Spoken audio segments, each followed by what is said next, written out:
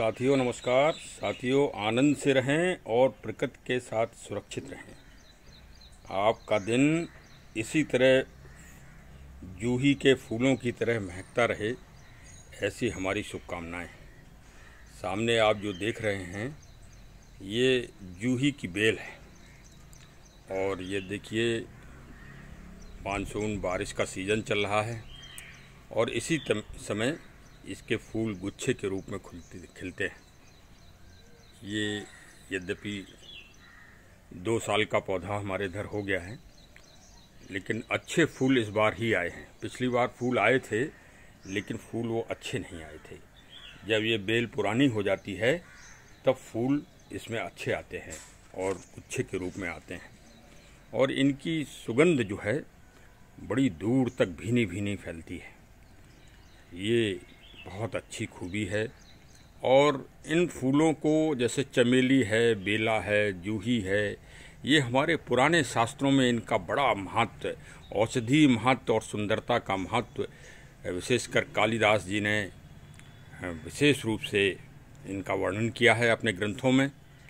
और ये वास्तव में उसके पात्र भी हैं, क्योंकि पहले तो मैंने प्रैक्टिकल रूप से इनकी सुगंध को का वो नहीं किया था अनुभव, लेकिन अब जब अनुभव हुआ तो वास्तव में जो पाया कि हमारे जो पुराने ग्रंथों में लिखा गया है, वो यथार्थ है, वास्तविक है। और इनको भी आज के आधुनिक युग में बड़े कंपटीशन का सामना करना पड़ रहा है। बहुत सारे नए नए आधुनिक चीज़ें आ रही हैं मार्केट में, और उनका बहुत ही एडवर्टीजमेंट और हाईलाइट किया जा रहा है और वास्तव में ये हमारी पुरातन जो पहचान थी, वो, उसको काफ़ी संघर्ष करना पड़ रहा है। लेकिन गुणवत्ता तो गुणवत्ता ही रहती है। और गुणवत्ता आज नहीं तो कल कल नहीं तो परसों, कभी न कभी तो इस समाज में अपना स्थान बनाएगी बनाएगी। तो उसी तरह से ये जूही का पौधा आप लोग देख रहे हैं, बेल। और ये वास्तव में एक बार अगर आप अपने बगिया में लगा लें तो आपके आसपास का वातावरण एकदम सुगंधित हो जाएगा। और आपको ये लगेगा कि आपने कोई बहुत ही, बहुत बढ़िया चीज़ को घर में लगा लिया है। तो देखिए, ये काफ़ी अच्छी, इसका विकास हुआ है।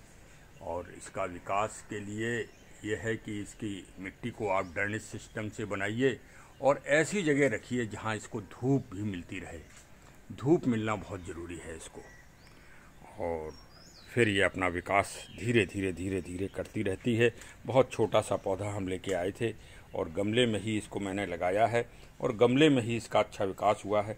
कई लोगों की टिप्पणी थी ज़मीन में अच्छा विकास होगा, लेकिन नहीं, गमले में ही अगर आप इसको पौष्टिकता का इसका ध्यान रखें तो इसका विकास अच्छा होता रहेगा।